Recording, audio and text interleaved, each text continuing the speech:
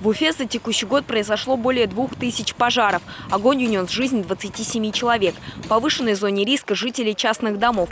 Чаще всего причиной трагедии становится неосторожное обращение с огнем, неисправность электрооборудования и печного отопления. Одна из мер борьбы – выдача пожарных извещателей. С начала года такие устройства получили порядка 12 тысяч уфимских семей.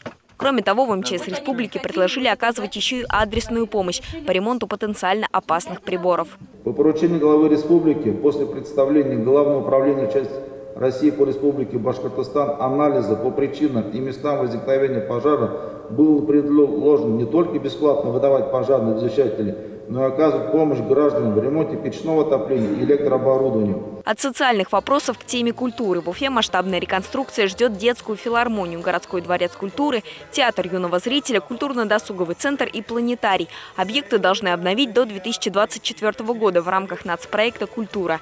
Главная задача федеральной программы – сделать учреждения более интересными для уфимцев. Проектом также предусмотрено оснащение музыкальных школ и переподготовка кадров. Кроме того, в Уфе зарождается новое движение «Волонтеры культуры». В текущем году к акции присоединились люди старшего поколения и молодежь. Планируется, что к 2024 году движение объединит более 120 волонтеров. Волонтеры будут заниматься развитием туристической привлекательности Уфы, сохранением культурных объектов, принимать участие в проведении культурных мероприятий.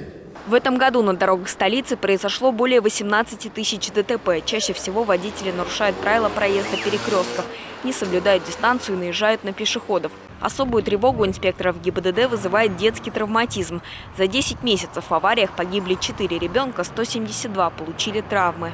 По сравнению с прошлым годом этот показатель увеличился вдвое. Мы начали изучать э, совместно с ГИБДД, в чем причина этих аварий.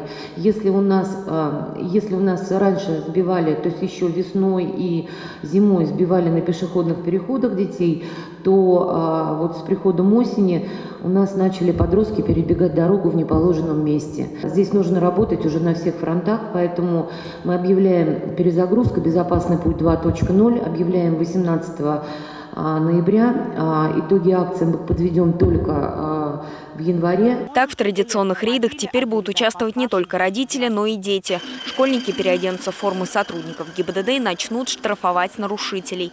Присоединиться к акции «Безопасный путь» предлагают всем уфимцам. Любой желающий может прислать видеоролики на тему детской безопасности, которые потом будут публиковаться в интернете.